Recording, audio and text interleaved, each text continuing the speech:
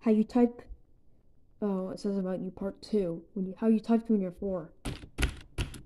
How you typed when you're six. How you typed when you're ten.